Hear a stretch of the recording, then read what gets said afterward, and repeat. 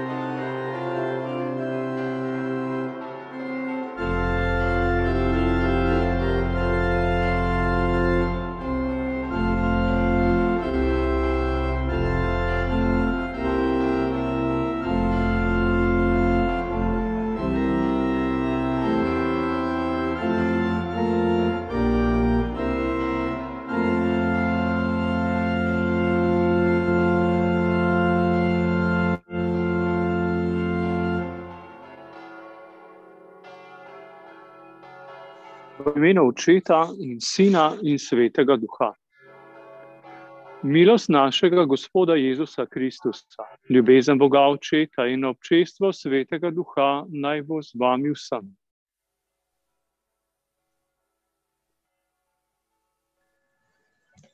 Ob velikonočnih praznikih želim z vami deliti besede papeža Frančiška, ki je rekel: V nas je močan nagon, ki nam pravi, da se naše življenje ne konča s smrtjo.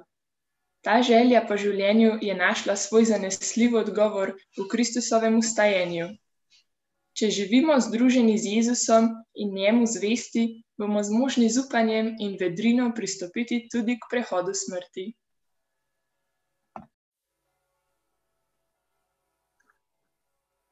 Na začetku te svete mašne daritve iskreno pogledajmo v svoje srca ter prosimo ostalega zveličarja, da se usmili nas in naših grehov ter slabosti.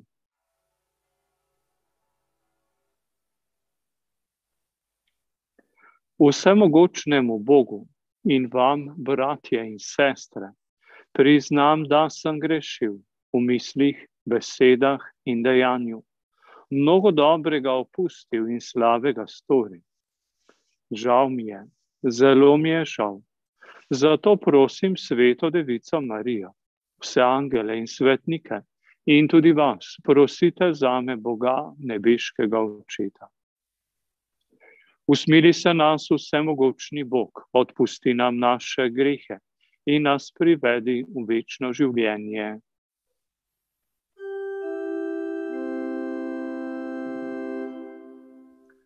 Gospod usmili se.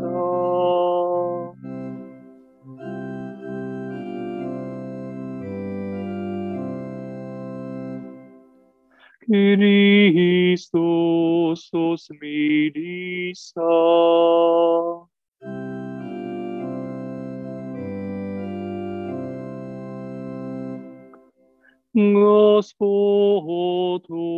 usmili se.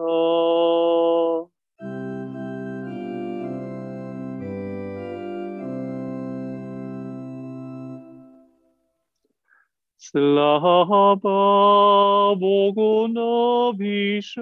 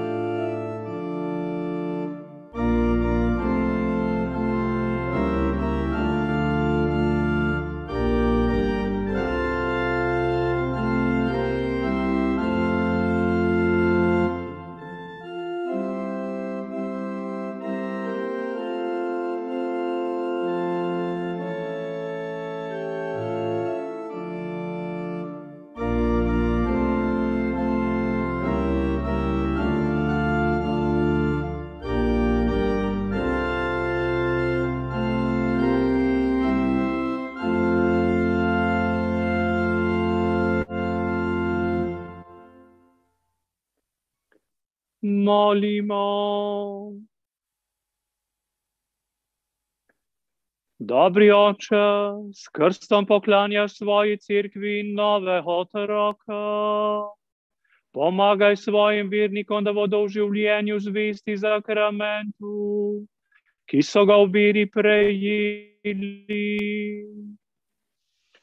Po našem Gospodu Jezusu Kristusu, tvojem sinu, ki s teboj v občestvu svetega duha živi in kraljuje vikoma.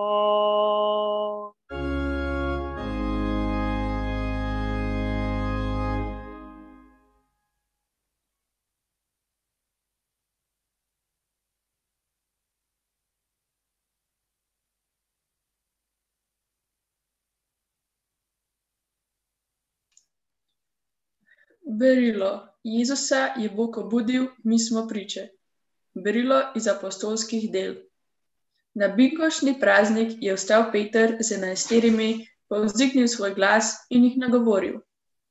Ljudje in vsi vi, ki prebivate v Jeruzalemu, to vam bodi znano in poslušajte moje besede.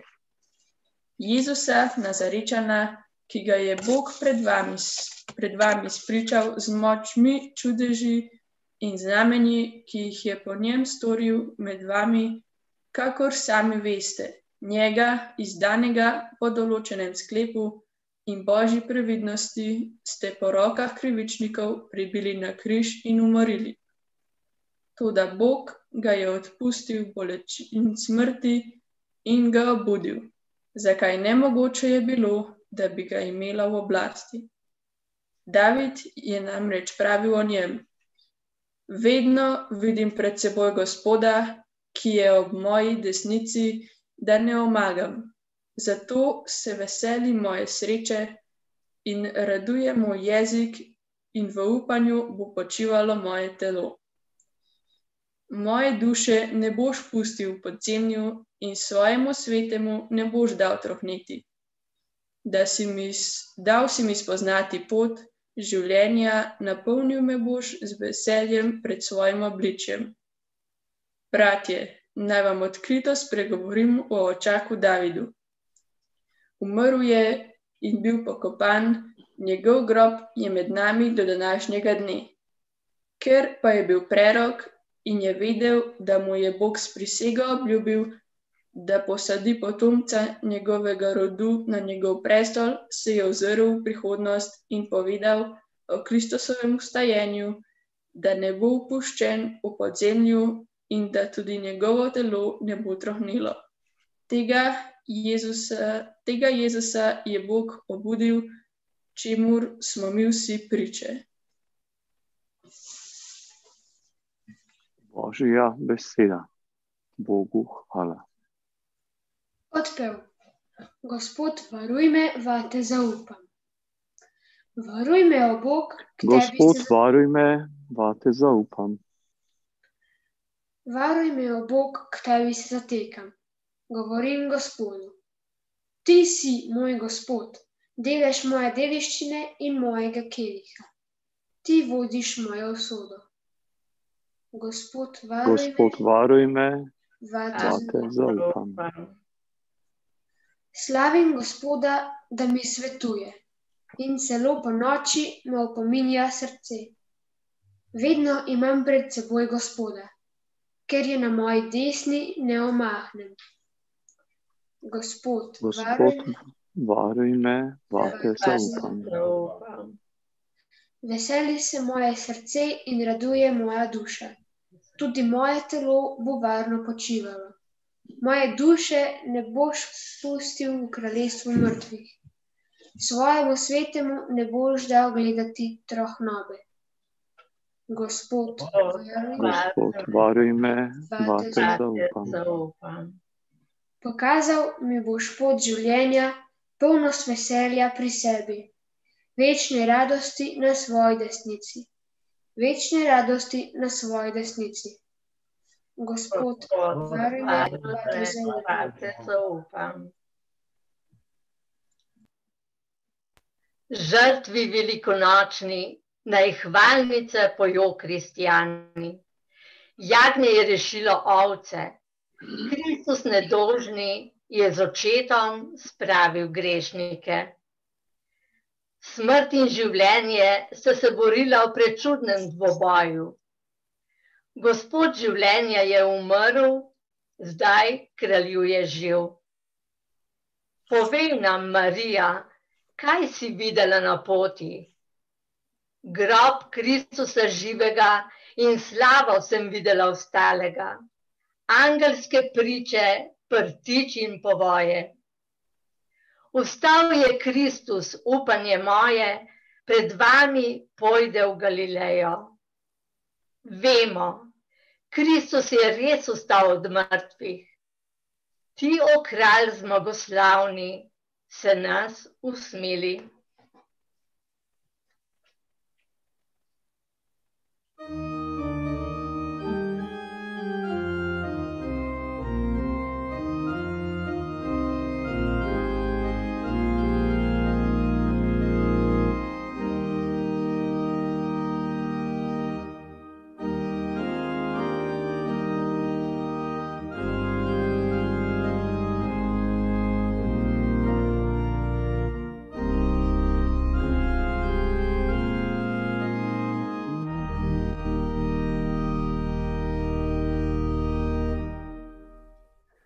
To je dan, ki ga je naredil Gospod, radujmo in veselimo se ga.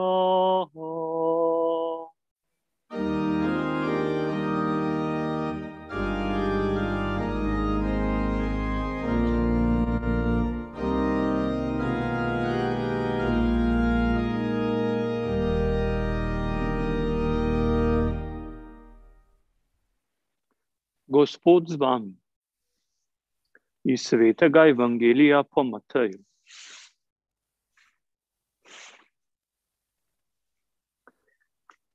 Tisti čas so žene hitro odšle od groba in so tekle, da bi sporočile njegovim učencem.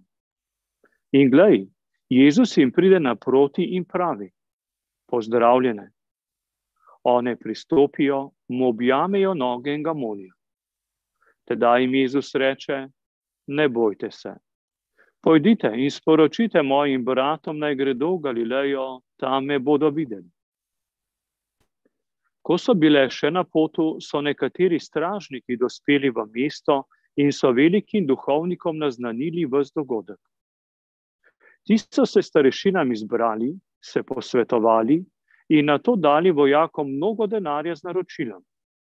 Recite, Njegovi učenci so prišli po noči in so ga ukradli, ko smo mi spali.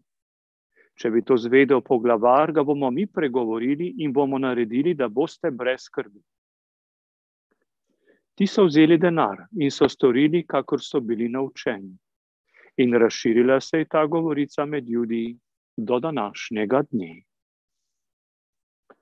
To je Kristusov evangelij.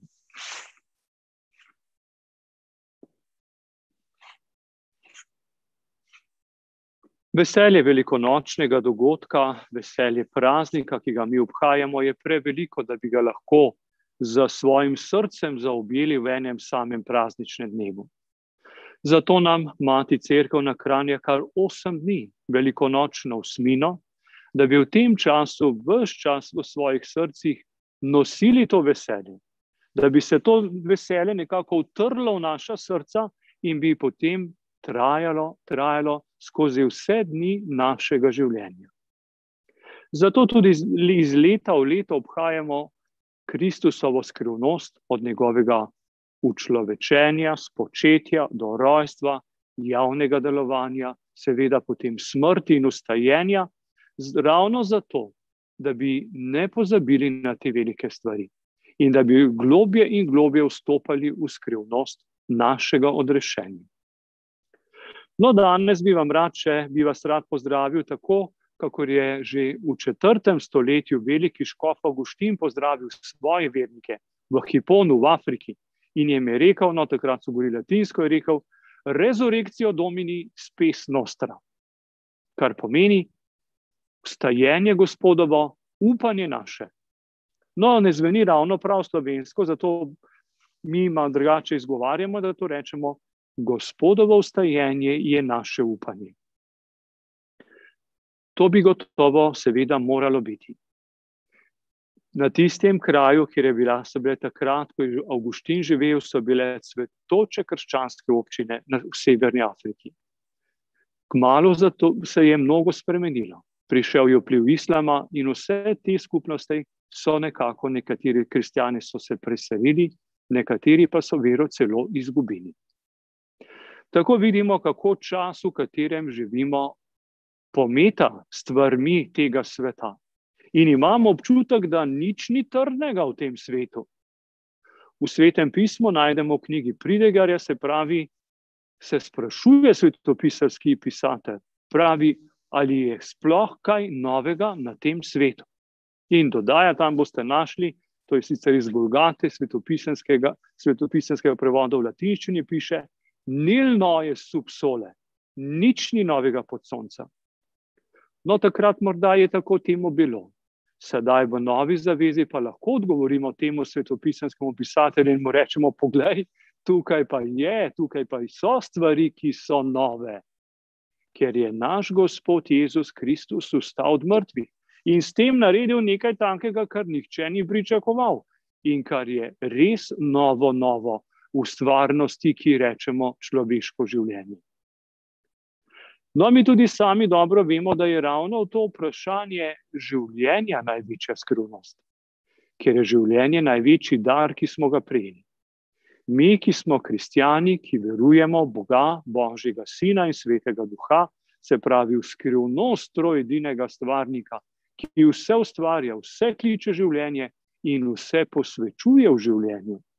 Zato lahko rečemo v tem ognju, v tem duhu velike noči, da nosimo v sebi to veselo sporočilo in da seveda zaradi Kristusovega ustajenja mi imamo odgovor za to življenje.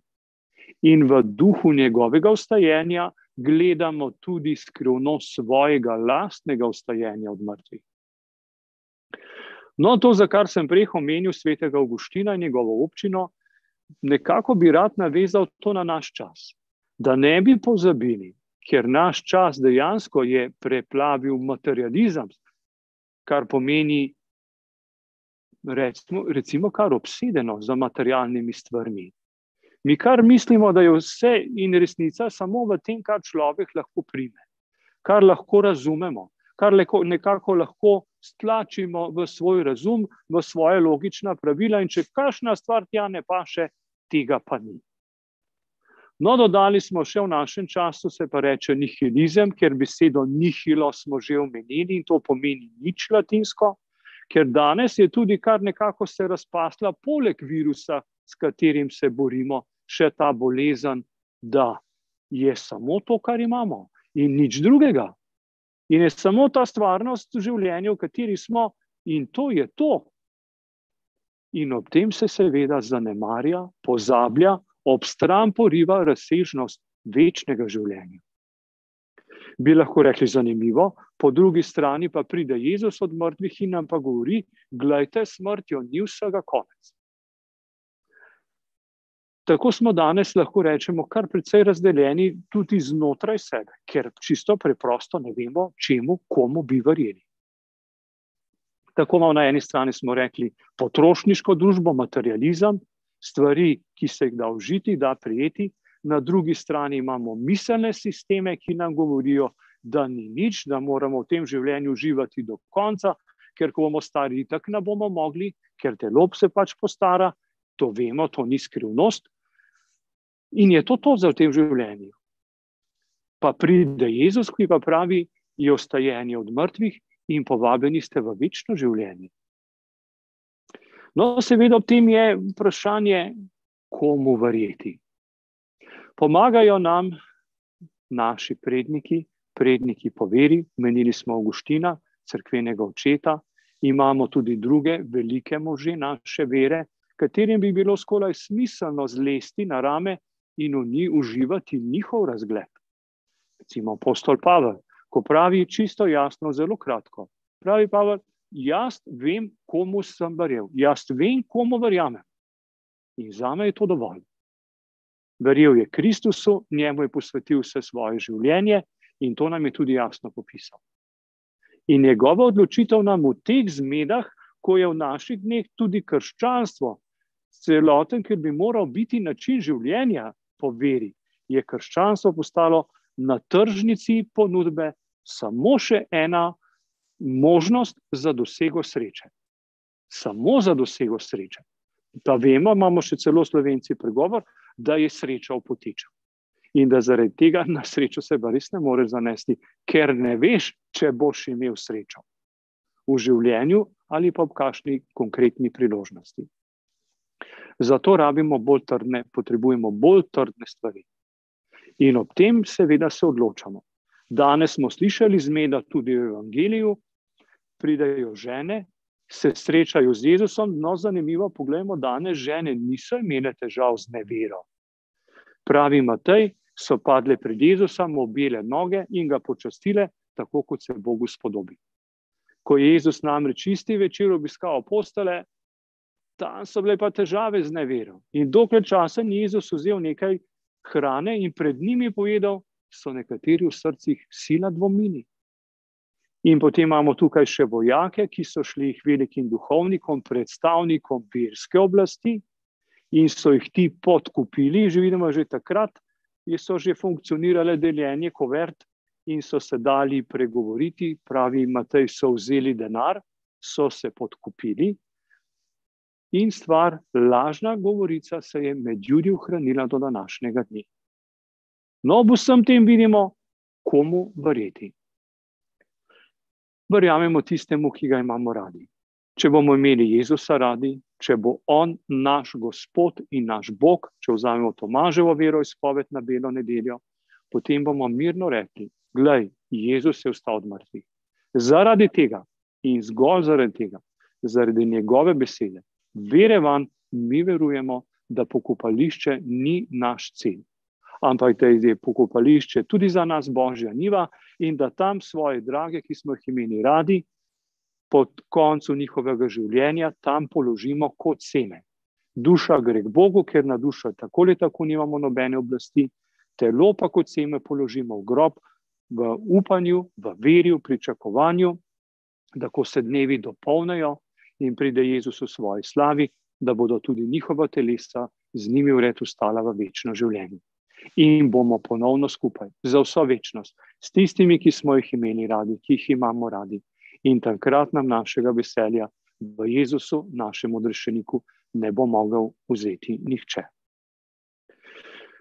Tudi vam vsem, ki ste danes z nami, tako ali drugače, ki nas spremljate, ste v duhu povezani z nami, želim tega upanja, te vere, te ljubezni. Da bi v moči Jezusove ljubezni hodili po poteh tega sveta in dosegli cilj, ki nam ga je Bog pred stvarjenjem sveta tudi namenil. Naj nam Marija, Jezusova mati, ki je naša zarja, zvezda danica v teh časih, naj nam ona razsvetljuje pot do Jezusa, da bomo pripravljeni za tisti čas in trenutek, ko se stvari dopolnijo. In da bo ona takrat naša zvezda, danica v srcih in v očeh, da bomo Gospoda sprejeli in ga počastili, tako kot so danes storile to te svete žene.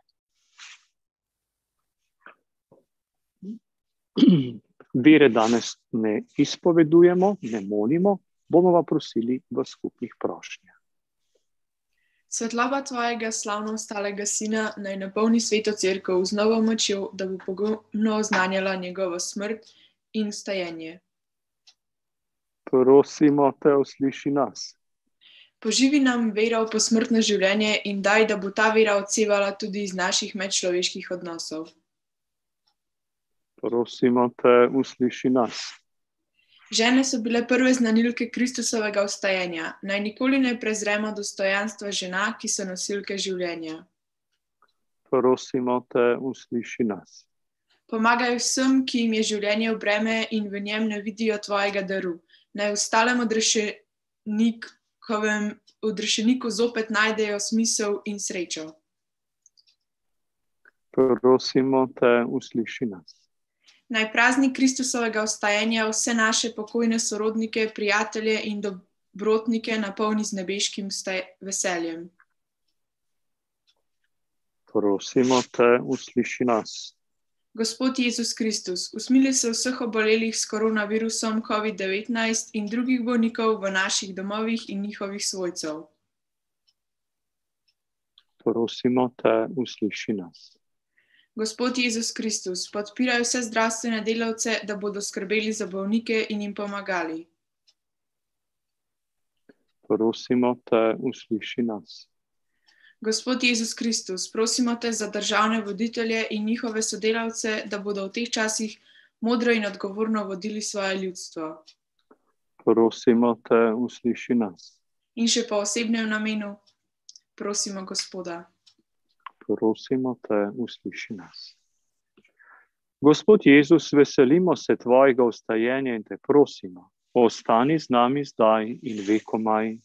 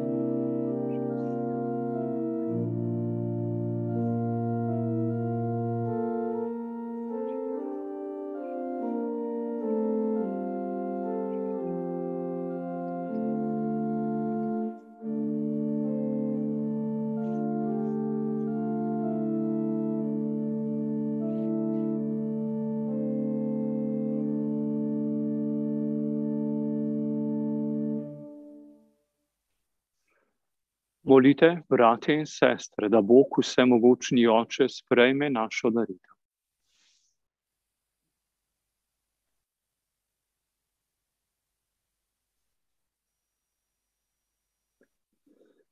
Gospod Bog, dobrohotno spremi darove svojega ljudstva, prerojenju viri in krstu, naj po tej daritvi dosežemo srečo, ki nikoli ne mine. Po Kristusu našem Gospodu.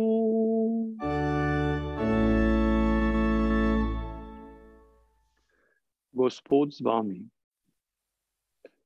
kvišku srca. Zahvalimo se Gospodu, našemu Bogu. Res se spodobi in je pravično, primerno in zveličavno, da tebe, Gospod, vedno slavimo.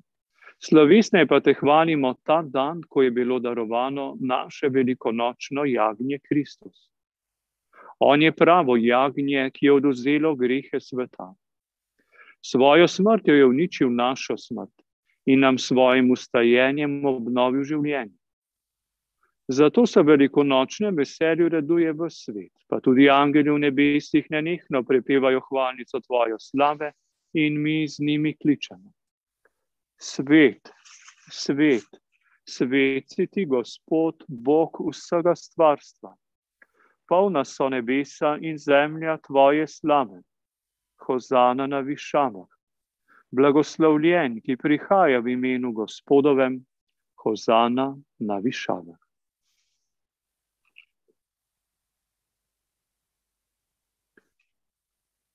Vsemogočni Bog, resnično si svet in po pravici te hvali vse stvarstvo, ker po svojem sinu, našem Gospodu Jezusu Kristusu, z močjo svetega duha vse uživljaš in posvečuješ v vseh časih zbira svoje ljudstvo, da od sončnega vzhoda do zahoda tvojemu imenu daruje čisto daritev.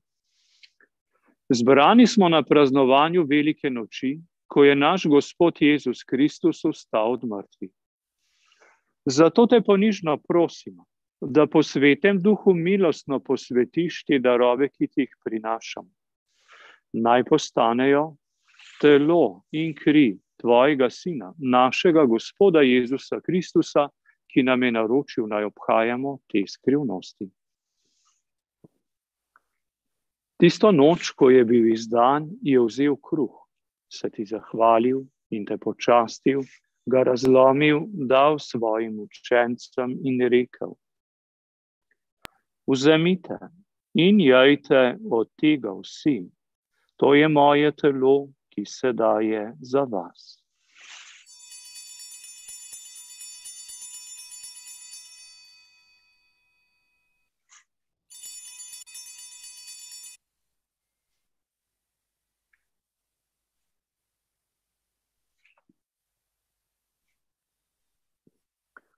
Prav tako je po večerji vzel kelih, se ti zahvalil in te počastil, ga dal svojim učencem in rekel: vzemite in pite iz njega vsi. To je kelih moje krvi, nove in večne zaveze, ki se za vas in za vse preliva v odpuščanje grehov. To delajte v moj spomin.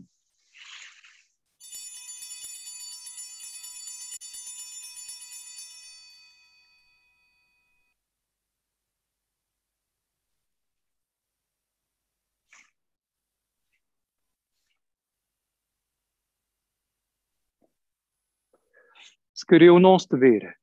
Tvojo smrt oznanjamo, Gospod, in tvoje vstajenje slavimo, dokler ne prideš v slavi. Usmiljeni Bog, obhajamo spomin zveličavnega trpljenja tvojega sina, njegovega čudovitega vstajenja in v nebohoda, pa tudi pričakujemo njegov drugi prihod. V zahvalo ti darujemo to živo in sveto daritev. Ozri se na daritev svoje cerkve in gledaj v njej jagnje, ki ti je bilo darovano v spravo. Napolni nas svetim duhom, da bomo eno telo in en duh v Kristusu, ko se hranimo z njegovim telesom in njegovo krvjo. One nas popolni za večno daritev tebi, da bomo mogli prejeti dediščino s tvojimi izvoljenimi. Najprej s preblažno devico, Božjo materjo Marijo, svetim Jožefom, svetimi apostoli in slavnimi učenci, sveto Marijeto, svetim Martinom, svetim Pavlom, svetim Janezom, krstnikom in vsemi svetniki. Zaupamo, da nas oni vedno podpirajo pri tebi svojo priprošnjo. Prosimo, Gospod naš Bog, naj bo ta spravna daritev vsemu svetu mir in zveličanje. Utrjuj v veri in ljubezni na zemljski poti svojo crkvo, svojega služabnika, našega papeža Frančiška, našega škofa Stanislava v škofovski zbor, vse duhovnike, druge služabnike crkve in vse svoje pridobljeno ljudstvo. Poslušaj, dobri oče, prošnje te družine, ki je v duhu zbrana pred teboj, in privedi k sebi tudi vse svoje razkropljene otroke. Sprejmi dobrotno v svoje kraljestvo naše rajne, brate in sestre, Majdo Strajner, katero ti danes še posebej priporočam. In vse, ki so se v tvoji milosti ločili z tega sveta. Upamo, da bomo z njimi tudi mi večno uživali tvojo slavo. Po našem Gospodu Jezusu Kristusu, po katerem deliš svetu vse dobrine.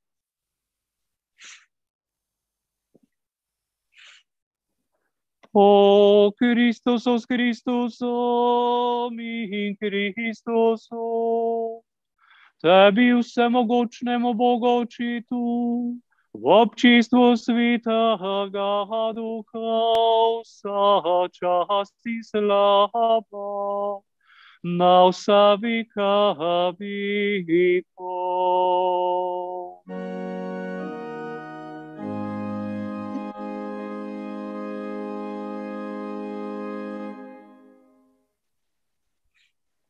Je dan, ki ga je naredil Gospod. Zato se danes radujmo, zato se današnjega dneva resnično veselimo. Bog nam je pokazal pot življenja, zato nismo nič več sami. Obrisal nam je solze gorja in žalosti. Zato dajmo, vsi slavimo Gospoda in vsi skupaj glasno in hvaležno zmolimo najlepšo molitev Oče naš. Oče naš, ki si v nebesih, posvečeno bodi tvoje ime. Pridi k nam tvoje kraljestvo, zgodi se tvoja volja, kakor v nebesih, tako na zemlji. Daj nam danes naš vsakdanji kruh in odpusti nam naše dolge, kakor tudi mi odpuščamo svojim dužnikom. In ne upeli nas v skušnjavo, temveč reši nas hudega. Amen. Reši nas vsega hudega, vsemogočni oče, podari na miru naših dni. Usmiljeno pomagaj, da se bomo varovali greha in bomo varni pred vsakim nemirom. Ko polni blaženega upanja pričakujemo prihod našega odrešenika Jezusa Kristusa.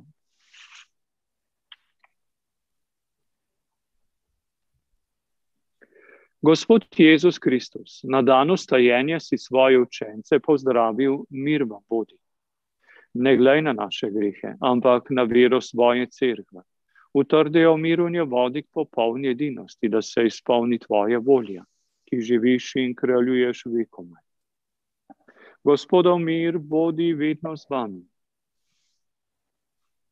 Danica svetila je umirno še noč. Skalo odkrila je angelska moč. In Jezus, naš kralj, iz groba je vstal, prenagal je smrt in pekel je strd. Pozdrav miruje tisti čas svete Maše, ko si verni, ki sežemo v roke v znamenje medsebojnega prijateljstva, sodelovanja in podarjanja. Gospod, hvala za tvojo daritev, stajenje, s katerim si nam pokazal, da božja moč presega človeško zlo in smrt. Pod varstvom božje moči si želimo in podarimo mir drug drugemu.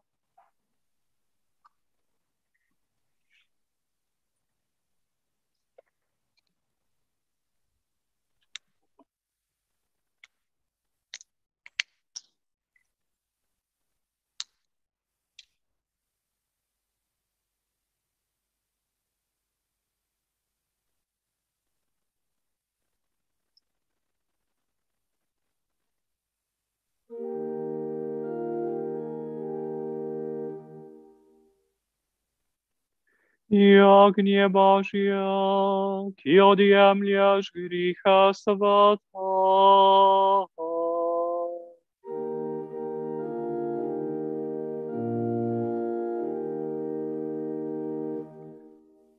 Jagnje Božja, ki odjemljaš griha sveta.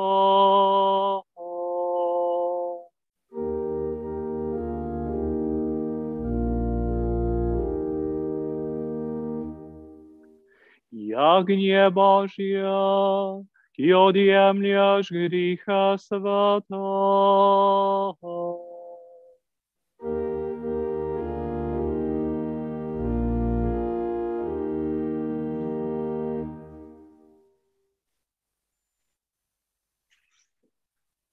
Glejte, to je jagnje Božje, ki odjemlje grehe sveta.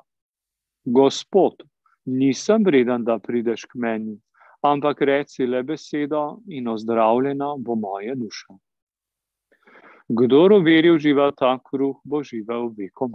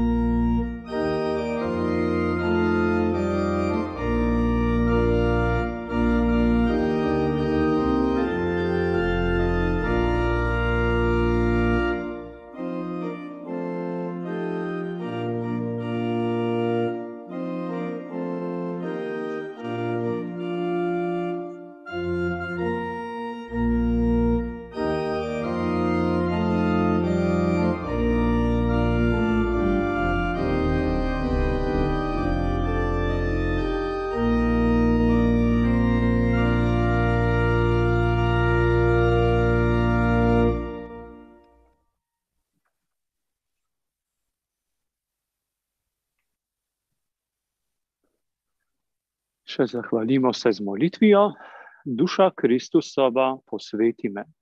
Telo Kristusova, zveličaj me. Kri Kristusova, napoji me. Voda iz strani Kristusove, operi me. Trpljenje Kristusovo, utrdi me. O dobri Jezus, usliši me. V svoje rane sprejmi me.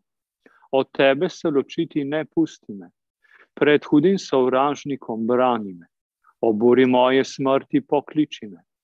In k tebi priti, pusti me, da bom s tvojimi svetniki hvalil te na vekov veke. Amen. Jezus, tebi živim, Jezus, tebi umrjem, Jezus, tvoj sem živ in mrtev. Amen. O Gospod moja, o mati moja, tebi se vsega darujem in da se ti v danega izkažem, ti danes posvetim svoje oči, svoje ušesa, svoje usta, svoje srce, sebe popolnoma vsega, ker sem torej tvoj, o dobra mati. Varuj me in brani me, kakor svojo last in posest. Amen. Molimo.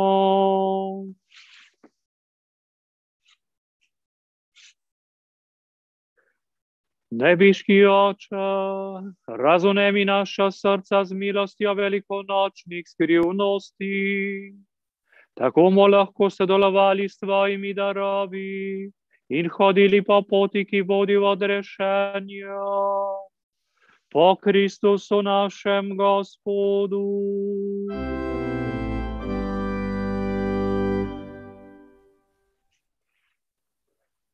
Tukaj v Bohinju imamo danes čudovito jutro in vse kaže, da bo tudi dan zelo lep. Vsem želim, da bi vam dneve in poti razsvetljevalo sonce Božje milosti. Luč, ki izhaja iz groba, iz Jezusovega ustajenja. Ta naj vam kaže pot in smer, kamor boste v teh dneh lahko nastavili svoj korak. Vsem želim, da bi v lepem duhovnem razpoloženju preživeli to velikonočno usmino. In Božjega blagoslova vam želim, za katerega sedaj skupaj odprimo svoje srca. Gospod z vami.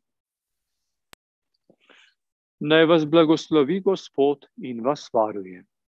Amen. Razjasni naj svoj obraz Gospod nad vami in vam bodi milostljiv. Obrne naj svoj obliček vam in vam da svoj mir. To naj vam podeli vsemogočni Bog, Oče in Sin in Sveti Duh. Pojdimo v miru.